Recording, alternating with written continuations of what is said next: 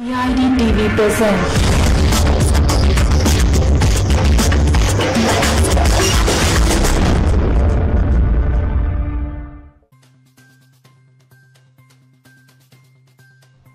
चुनाव के छह चरण समाप्त हो गए हैं और एक चरण शेष रह गया है। लेकिन आखिरी चरण में वोटिंग को लेकर सुप्रीम कोर्ट में डाली गई याचिका खारिज हो गई है। रमज़ान को लेकर मतदान के समय में परिवर्तन करने संबंधी याचिका सुप्रीम कोर्ट में खारिज हो गई है। पीएम नरेंद्र मोदी ने मध्य प्रदेश के रतलाम में चुनावी जनसभा को संबोधित करते हुए कांग्रेस के वरिष्ठ नेता दिग्विजय सिंह पर जमकर हमले बोले। जब देश लोकतंत्र का पर्व मना रहा है, अपने प्रतिनिधि चुन रहा है, तब दिग्गी राजा ने वोट डालने की भी ज़रूरत नहीं समझी। लोकसभा चुनाव के छठे चरण में पश्चिम बंगाल के बांकुरा में मतदान के दौरान हुई हिंसा के मामले में चुनाव आयोग ने कड़ी कार्रवाई की है। आयोग ने बांकुरा के डीएम को हटा दिया है।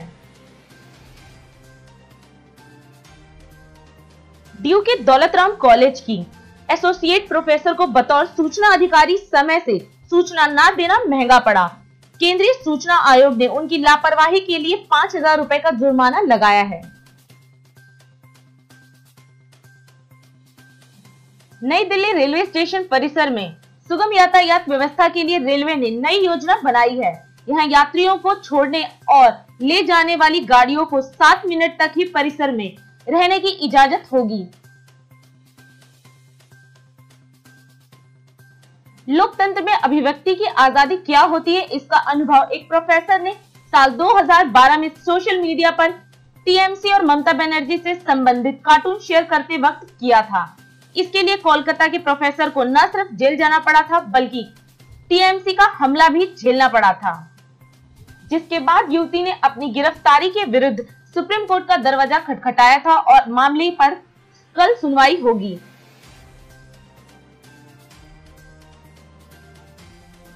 दिल्ली से सटी हरियाणा की फरीदाबाद लोकसभा सीट पर तथा कथित बूथ कैप्चरिंग मामले में एक पोलिंग एजेंट को गिरफ़्तार कर लिया गया है।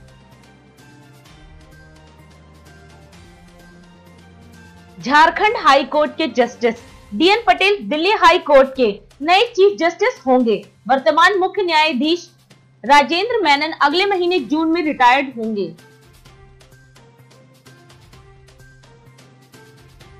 नोएडा इलेक्ट्रॉनिक सिटी से मोहन नगर तक मेट्रो फ़ेज़ तीन के पाँच स्टेशनों की लोकेशन फाइनल हो गई है। रैपिड रेल कॉरिडोर से जोड़ने के कारण सिर्फ़ वसुंधरा सेक्टर दो स्टेशन की लोकेशन तय होना बाकी है।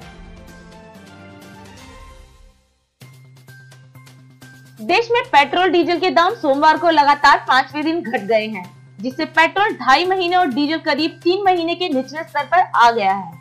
दिल्ली में पेट्रोल 30 पैसे और डीजल 13 पैसे सस्ता हो गया है। ये है डीआईडी में खबरें अब तक। इंतज़ार कीजिए कल तक।